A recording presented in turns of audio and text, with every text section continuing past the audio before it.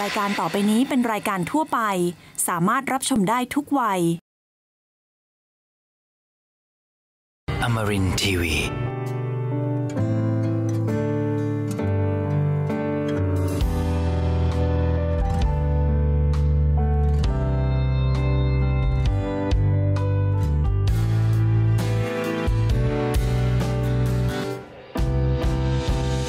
j จะสุขจะทุกข์ก็คือ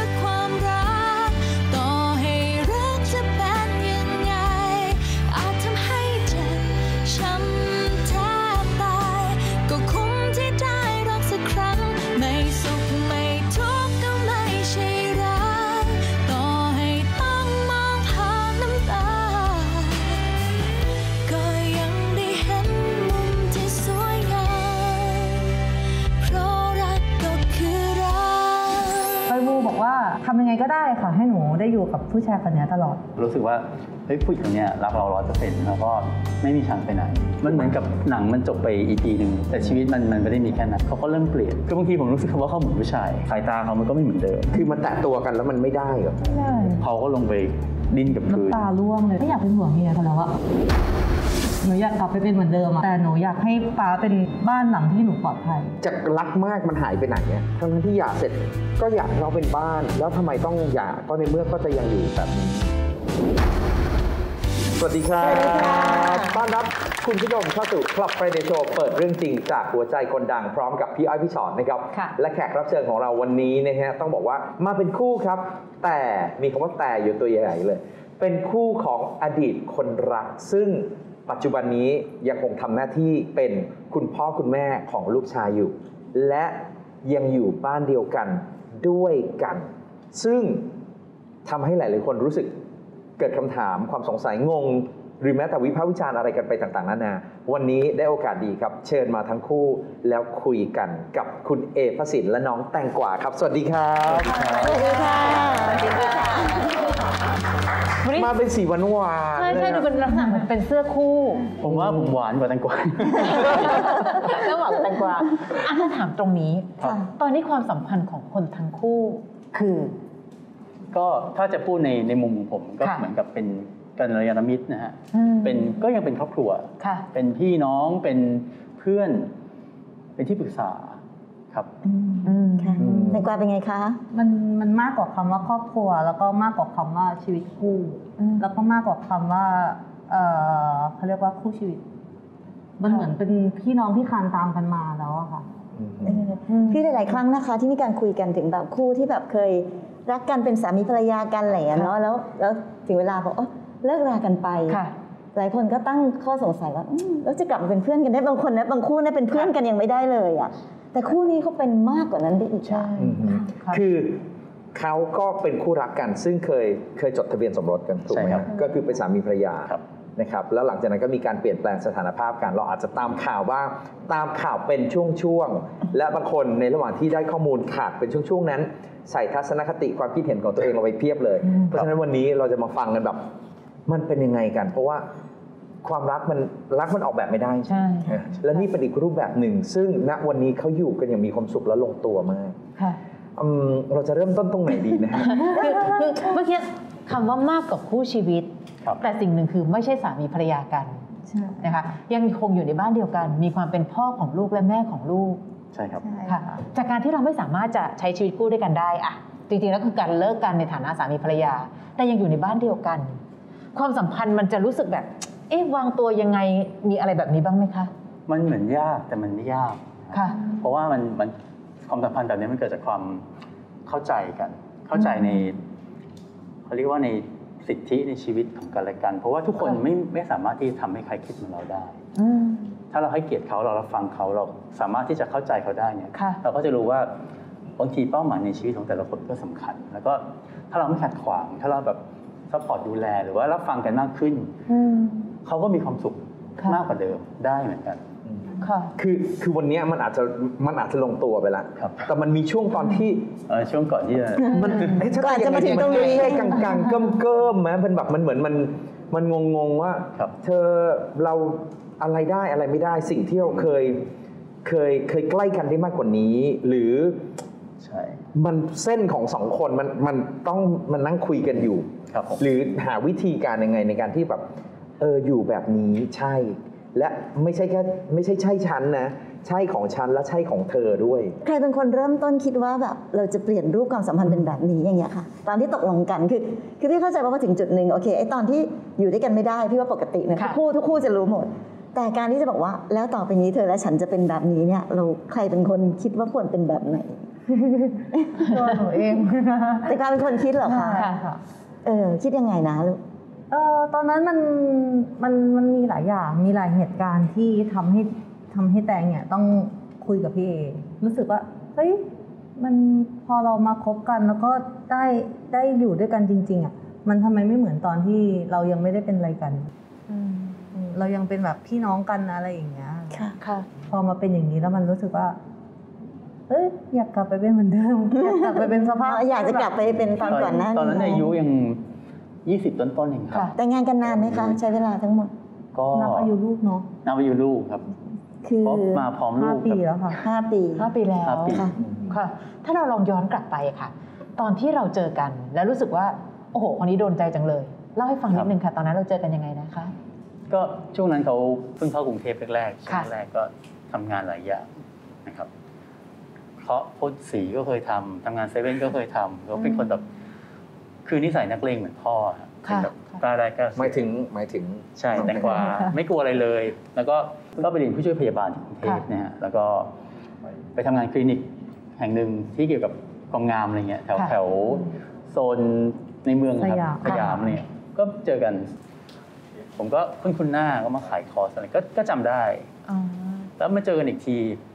ก็คือเราไม่เคยรู้จักเขา ใช่อะก็คือเดินไปเจอเขาผมจำเด็กทุกคนได้หมดหน้าตาดีๆอะแม่เลด้ามันทำงานติ๊กตอนติ๊กตอนนั้นโสดอยู่อะฮะแต่เขาก็ไม่ค่อยรู้จักเราเพราะว่าเขาทำงานหลายอย่าง เราก็แบบเออเฮ้ยเด็กคนนี้แบบเฉยๆกับเรามากเลยอะไรเงี้ยแต่ก็น่ารักดีดูแบบดูขยันอะไรเงี้ยครับก็มาเจออีกทีตอนเขาเรียกว่าปฐมนิเทศนักนักแสดงใหม่อ่าในภาพยนตร์เรื่องหนึ่ง ค่ะ แล้วเขาเป็นนักแสดงที่แบบค่ายนี้เขาปั้นอะเขาไปแคสมาเขาได้ เราก็อบรมเขาอืม แล้วคนนี้เขาก็ไม่สนใจเราอีกแตงกวาจำพี่เอได้ไหมคะ จำไม่ได้เลยค่ะ ไม่มีอยู่ในเพราะว่าความจำเลช่วงยช่วงวัยเด็กแล้วก็ค่ะตั้งแต่ที่จำความได้ก็คือไม่ค่อยได้ดูทีวีเลย ก็คือทำแต่งานก็ไม่รู้ว่าพี่เขาเป็นนักแสดงด้วยซ้ำอะแต่พูดอย่างนี้ยแปลว่าคุณพี่เอจำจำเขาได้ก็ตั้งแต่เห็นว่าอ้าวคนนี้นี่หว่าที่ตอนนั้นยังมาขายคอร์สเยทำที่หรือเปล่าอะไรเลยเงี้ย ก็ใช่แล้วก็ปรากฏว่าอยู่ดีๆอะไอ้โปรเจกต์นั้นเนี่ยที่เป็นความฝันของเขาอะ มันล่มไปด้วยในทุนด้วยอะไรก็แล้วแต่ มีนักแสดงที่ที่มีชื่อเสียงร่วมแสดงด้วยที่เป็นเพื่อนผมเขาก็เคว้งเขาก็ปรึกษาเราเราก็เออไงดีวะเราเป็นแบบเป็นเหมือนกับเป็นโค้ด acting อย่างเงี้ยค่ะก็คุยกันแล้วในนั้นก็คุยกันมาเรื่อยๆครับอืมค่ะเป็นเพื่อนทานข้าวหลังเลิกงานอะไรเงี้ยก็จีบเขาแหละใช่ไหมล่ะก็ใครจีบใครน่ะอ๋อมันบอกไม่ถูกสิหนูบุกเหรอน่าจะเป็นแบบ หนูก็ไม่ค่อยมีเพื่อนอยู่แล้วอะค่ะ แต่เห็นพี่เขาเป็นคนนิสัยดีใจเย็นแล้วเราอยู่ด้วยแล้วเรารู้สึกว่าปลอดภัยดีอย่างเงี้ยค่ะเราก็ไปไปหากันเรื่อยๆ ไปกินข้าวไปดูหนังอย่างเงี้ยค่ะอืมเกือบถึงปีได้มั้งเนาะอยู่ค่ะอย่างนั้นนะคะซึ่งหลายเดือนซึ่งจะว่าไปก็คือก็คือศึกษาดูใจคบหากันครับในมุมนี่ของของความเป็นแบบหนุ่มนักแสดงที่อาจจะดูแบบมีลุคเป็นแบบแบดบอยห bad น่ boy อยๆ ดูเจ้าชู้เจ้าชู้อะไรเงี้ยกลัวบ้างไหมคะว่าแบบหนูชอบค่ะนี่หนูชอบตรงสเปคพอดีมีความท้าทายชอบอะไรอย่างที่เงี้ยเหรอมันแบดๆแต่แต่พอมารู้จักเฮ้ยมันคนละบุคลิกกับในทีวีที่เขาเปิดให้ดูมันค่ะไม่ได้แบดนี่นะคะเขาเรียบร้อยมากค่ะ ขนาดว่าตอนแรกๆเอง รู้สึกเหมือนกับไม่ได้ถูกใจ แต่เห็นว่าไปไปมูเหมือนกันว่าเพียง ขอให้ได้อยู่กับคนคนนี้เถอะเรารู้สึกว่าหนูขอพูดตรงนี้แล้วกันนะคะว่าผู้ชายส่วนมากจะเป็นคนที่งี่เง่าอันนี้อันเข้าไปเลยหนึ่งหนึ่งในผู้ชายส่วนมากของเลยโอเคพี่ไม่ได้ว่าอะไรพี่ไม่ได้ว่าอะไรเป็นคนที่จู้จี้จุกจิกนู่นนี่นั่น เยอะแยะ แต่พี่เอเขาจะเป็นคนแบบ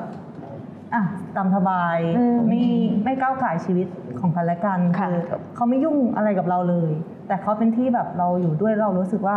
ปลอดภัยอะเหมือนบ้านหลังที่สองจากบ้านที่เราเกิดอะไรเนี้ยค่ะ ค่ะ แล้ว support ดีมาก ตั้งแต่มาอยู่ในกรุงเทพก็คือพี่เอน่าจะเป็นคนแรกที่ให้ให้ความปลอดภัยสำหรับหนูได้ค่ะค่ะ แล้วตอนที่บอกว่าไปมูไปอธิษฐานว่าไงคะ ไปมูบอกว่าทำยังไงก็ได้ค่ะ ให้หนูได้อยู่กับผู้ชายคนนี้ตลอดมั นมันมันคือยังไงเราเราไปเพื่อทำสิ่งนี้หรือบังเอิญไปเที่ยวแล้วเจอหรือไปมันเที่ยวแล้วคราวนี้น่าจะเป็นเจ้าแม่กวนอิมน่าจะเป็นองค์แรกมั้งคะที่หนูขอพรค่ะปกติค่ะจะไม่ค่อยขอพรที่ไหนไปด้วยกันไหมฮะไปไปด้ด้ววยยกักันนไปที่เพชรบูรณ์ครับแล้วรู้ไหมว่าเขาอธิษฐานแบบนี้ตอนนั้นก็อธิษฐานไปเถอะเป็นท่านศักดิ์สิทธิ์นะอะไรเงี้ยก็อืมก็เลยอธิษฐานอืมแล้วค่ะกลับมาปุ๊บก็ลูกชายมาเลยอ๋อใช่กลับจากเพ ชรบูรณ์เพชรบูรณ์เพราะฉะนั้นถ้าถ้าพี่อันพูดนะวันนั้นน่ะจริง ๆ ก็คือแตงกวาก็สามารถพูดมันถ้าถ้าถ้าไม่ใช่ก็บอกนะค่ะวันนั้นพูดได้ไหมว่าเราเรารักเขาแบบรักมากอะรักแบบหมดหัวใจอย่างนี้เลยไหมเออตอนนั้นรู้สึกรักแล้วค่ะ แต่คือในใจเราก็ไม่รู้ว่าพี่เอคบใครอยู่หรือเปล่าเพราะเรารู้จักกันมาเกือบปี แต่เราไม่เคยถามว่าพี่เอคบใครไหม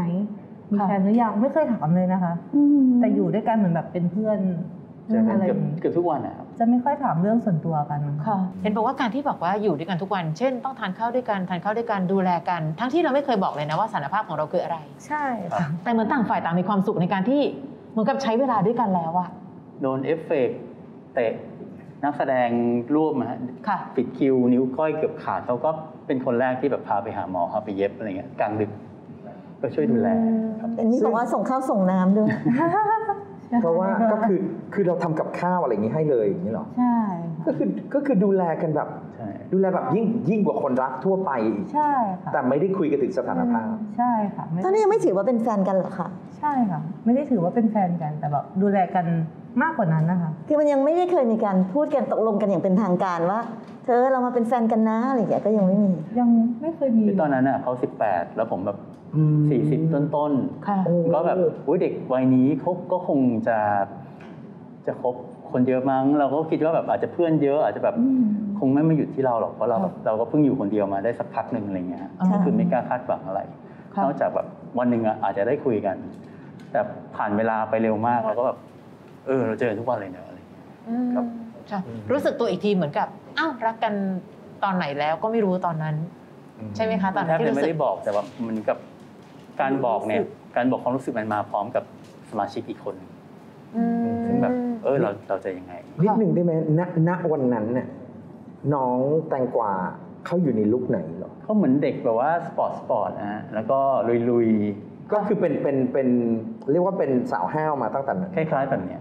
ครับแต่ผมยาวใส่กระโปรงผมยาวส้นสูงมากไหมอะหรือว่าไม่เคยเลยเอาบางทีก็ใส่บางทีก็ไม่ใส่แต่ผมว่าเขาจะเป็นแบบสปอร์ตมากกว่าอื